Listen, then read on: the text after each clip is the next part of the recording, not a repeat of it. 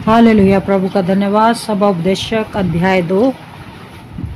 मैंने अपने मन से कहा, चल, मैं तुझको आनंद के द्वारा जाचूँगा इसलिए आनंदित और मग्न हो। परंतु देखो, यह भी व्यर्थ है। मैंने हँसी के विषय में कहा, यह तो बावलापन है और आनंद के विषय में उससे क्या प्राप्त होता है?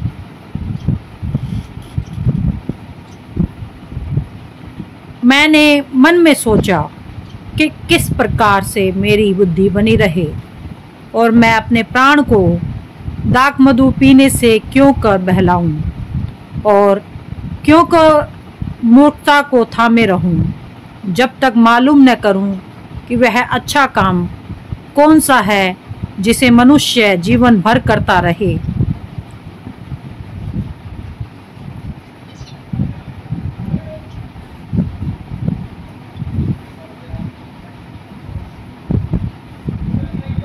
मैंने बड़े बड़े काम किए।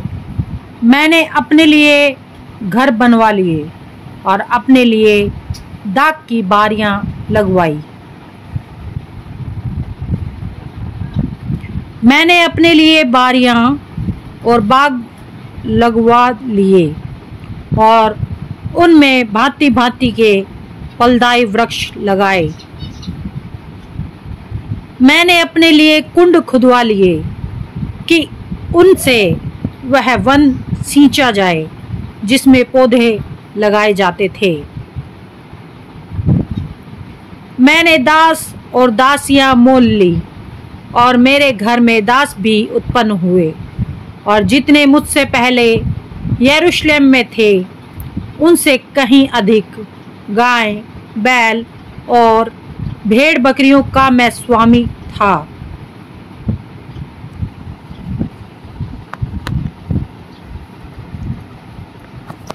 मैंने चांदी और सोना और राजाओं का राजाओं और प्रांतों के बहुमूल्य पदार्थों का भी संग्रह किया।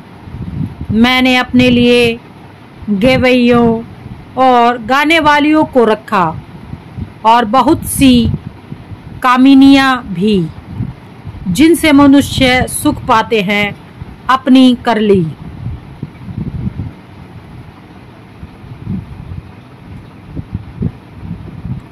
इस प्रकार मैं अपने से पहले के सब यरूशलेम वासियों, अधिक महान और धनांडय हो गया तो भी मेरी बुद्धि ठिकाने रही।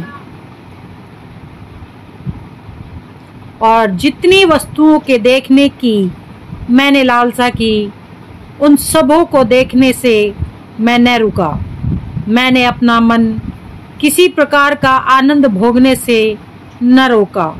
क्योंकि मेरा मन मेरे सब परिश्रम के कारण आनंदित हुआ और मेरे सब परिश्रम से मुझे यही भाग मिला।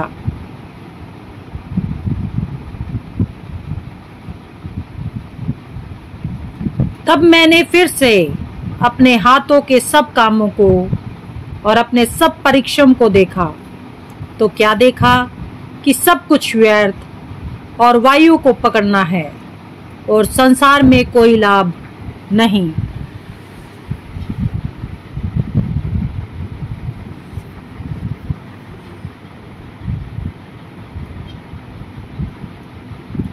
फिर मैंने अपने मन को फेरा कि बुद्धि और बावलेपन और मूर्खता के कार्यों को देखूँ, क्योंकि जो मनुष्य राजा के पीछे आएगा वह क्या करेगा?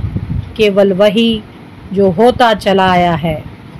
तब मैंने देखा कि उजियाला अंधियारे से जितना उत्तम है, उतना बुद्धि भी मूर्खता से उत्तम है।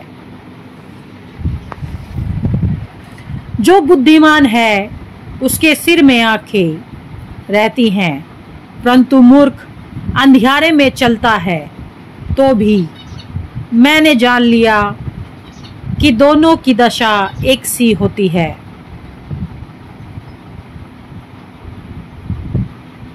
तब मैंने मन में कहा, जैसी मूर्ख की दशा होगी, वैसी ही मेरी भी होगी।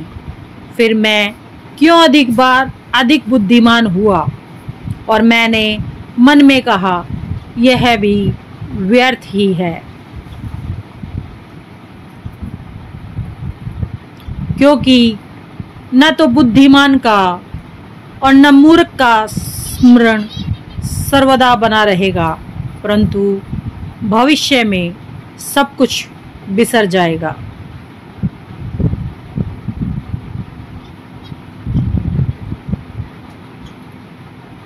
बुद्धिमान क्यों कर मूर्ख के समान मरता है?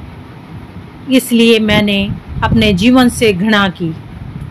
क्योंकि जो काम संसार में किया जाता है, मुझे बुरा मालूम हुआ, क्योंकि सब कुछ व्यर्थ और वायु को पकड़ना है।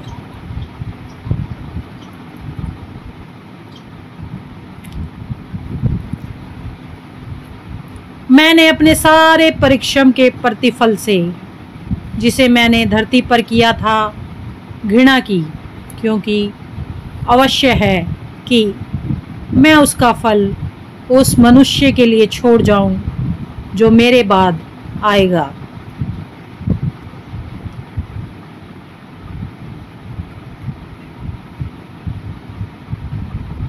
यह कौन जानता है कि वह मनुष्य बुद्धिमान होगा व मूर्ख? तो भी धरती पर जितना परिश्रम मैंने किया और उसके लिए बुद्धि प्रयोग की, उस सब का वही अधिकारी होगा। यह भी व्यर्थ ही है।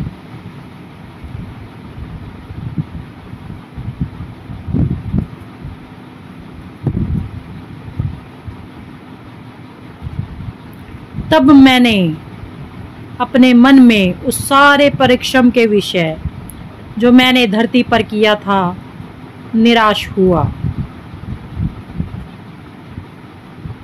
क्योंकि ऐसा मनुष्य भी है, जिसका कार्य परिश्रम और बुद्धि और ज्ञान से होता है और सफल भी होता है तो भी उसको ऐसे मनुष्य के लिए छोड़ जाना पड़ता है, जिसने उसमें कुछ भी परिश्रम न किया हो।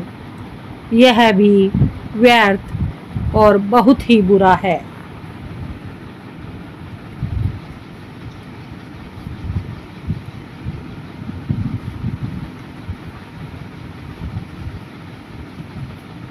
मनुष्य जो धरती पर मन लगा लगा कर परिश्रम करता है, उससे उसको क्या लाभ होता है?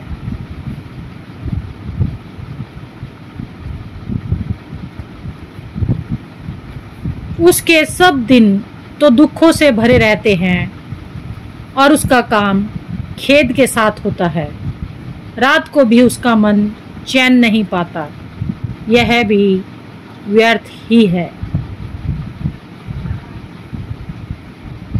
मनुष्य के लिए खाने, पीने और परिश्रम करते हुए अपने जीव को सुखी रखने के सिवाय और कुछ भी अच्छा नहीं। मैंने देखा कि यह भी परमेश्वर की ओर से मिलता है।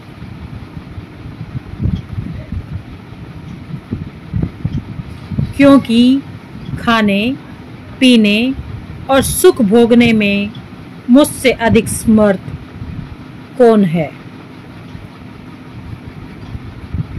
जो मनुष्य परमेश्वर की दृष्टि में अच्छा है, उसको वह बुद्धि और ज्ञान और आनंद देता है, परंतु पापी को वह दुख भरा काम ही देता है कि वह उसका देने के लिए संचय करके ढेर लगाए, जो परमेश्वर की दृष्टि में अच्छा हो। यह भी व्यर्थ और वायु को पकड़ना है। आमेन। प्रभु इस वचन के द्वारा आशीष दे।